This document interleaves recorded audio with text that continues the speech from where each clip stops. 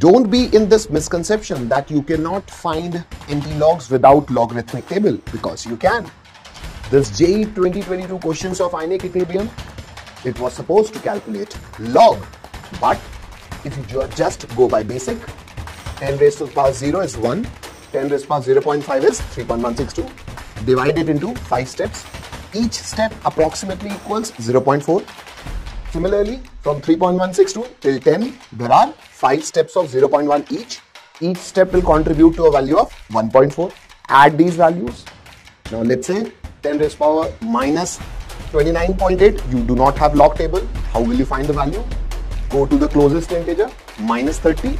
You can calculate 10 raised to the power 0.2 approximately. So whenever option comes, you can find the answer using this common sense. For more such detailed insights, go to the complete one-shot series on equilibrium at PW JEE English channel.